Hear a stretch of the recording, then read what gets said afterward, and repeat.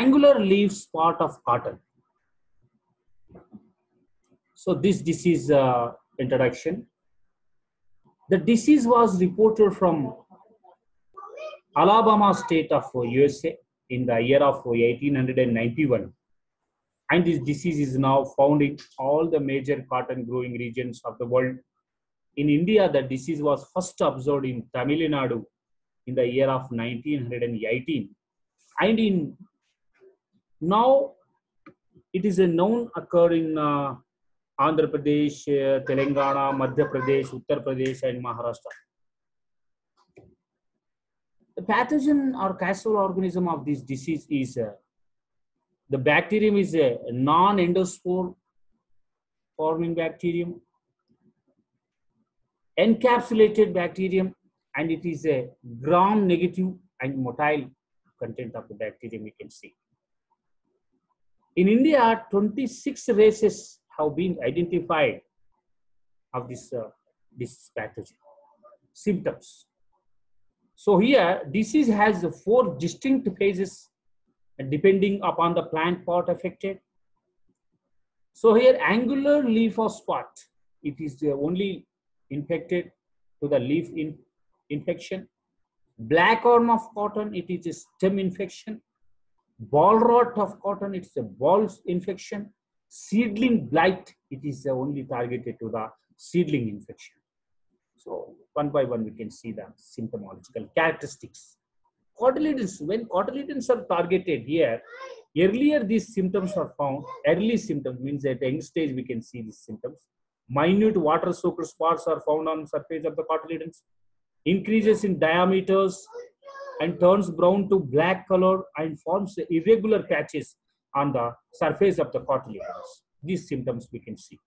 On surface of the leaves, water soaked spots we can form on surface of the leaves increases in sizes that spots initially where they were very small and afterwards those can gradually increases the sizes become angular in form so that is the angular uh, black arm of the angular cotton it is considered and bounded by small wings veinlets also form on the surface of the leaves these type of features we can form ultimately these symptomological characteristics are going to be turned brown to black color. The bacterium attacks all aerial parts. See, total aerial parts are going to be attacked by this bacterium of the plant at different stages of the growth. There is no stage restricted for the infection and spreading of the bacterium. And uh, even there is no part restricted to this particular bacteria. In case of the stem, shows a cracks a small cracks we can find on surface of the stem and gummosis also found. Small lesions also found we can see here, very small lesions. These lesions are dark brownish color at the time. And then afterward, those can be sooty black color and these can be elongated and uh, sunken in their natures. When we are considering about the disease cycle, bacterial viability in dry leaves, particularly 17 years. So very long period for the viability.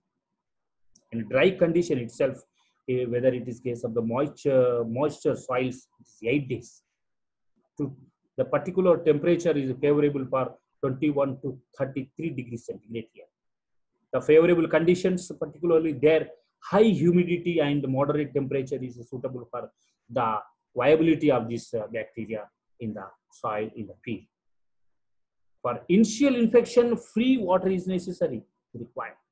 And for secondary infection here, initial primary infection, secondary infection also for. In case of primary infection, totally dependent on water, the irrigation problem. Free water necessary. In case of the secondary infection, moisture is very important during first 48 hours for the infection of these secondary levels. Secondary levels. Leaves are infected mainly through the stomata itself. The pathogen produces pectolytic enzymes and uh, cellulase and protease enzymes due to the releasing of these pectolytic, cellulase, protease enzymes, the total plant body is going to be damaged. Or to control these uh, measures means uh, crop rotation is a very popular and early sowing method and as well as early thinning method and additional potash methods also suggested. Treating seeds with antibiotic like streptomycin is suggested. Carboxyls and oxycarboxyls also. Eliminating for the internal and external seed-borne inoculums. Particularly when concentrating on seed treatment is very important for controlling of this disease because viable period is a very, very long, long viable period there. So that is why we should have to be go for very biological method, cultural method, and chemical methods are suggested for the controlling of this disease.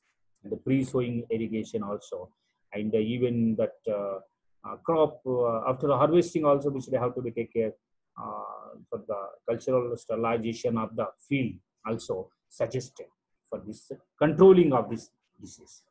Thank you for concentrating of this uh, this is information. Kindly subscribe our channel Dr. P. Shivakumar Singh and uh, press on bell button for updated future classes.